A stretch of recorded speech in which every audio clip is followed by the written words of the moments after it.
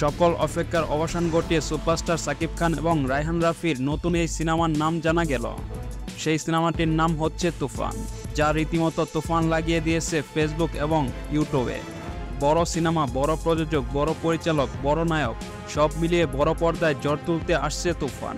সব জল্পনা কল্পনা গুঞ্জনের অবসান হলো।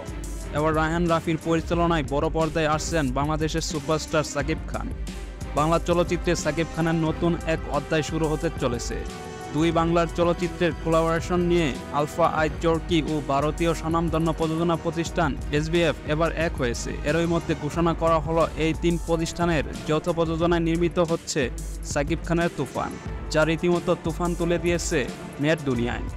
পরিচালক রায়হান রাফি সিনেমাটি নিয়ে বেশ রোমাঞ্চিত। তিনি বলেন, আমি খুব এক্সাইটেড কারণ একসঙ্গে আলফা, এস এসবিএফ ও চরকি তিনটা বড় প্রতিষ্ঠান এক সুতোয় গেছে, দুটো সিনেমা হচ্ছে। আমাদের বাংলাদেশের একমাত্র সুপারস্টার সাকিব খান, তার সঙ্গে এটা আমার প্রথম সিনেমা।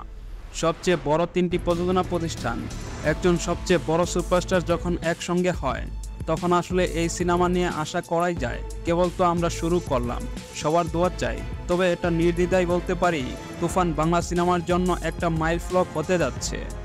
তুফান ছবিটি নিয়ে সাকিব খান নিজেও বেশ আনন্দিত। তিনি বলেন, আমি সব সময় বলে আসছি, বাংলাদেশি সিনেমার সম্ভাবনা অপার। শুধু দেশে নয়, দেশের বাইরেও বড় একটা বাজার আছে। সারা বিশ্বে ত্রিশ কোটি বাংলা ভাষাভাষী রয়েছে। তাদের শুধু ভালো মানের সিনেমা উপহার দিতে হবে। আর সিনেমা অঙ্গনে কাজের মানুষদের শুধু কাজের পরিবেশটা দিতে হবে। বাকিটা সিনেমা প্রেমীরাই ঠিক করে নেবেন। তুফান আসছে কোরবানি ঈদে। বাংলা ভাষাভাষী মানুষদের মধ্যে বড় একটি জ্বর তুলতে আসছে।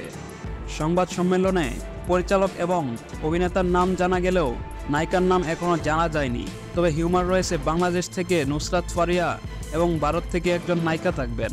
আবার এও শোনা যাচ্ছে তানজিন দিশা হতে পারেন এই সিনেমার নায়িকা। সময়ই বলে দেবে সুপারস্টার সাকিব খানের তুফান সিনেমায় নায়িকা কে হচ্ছেন।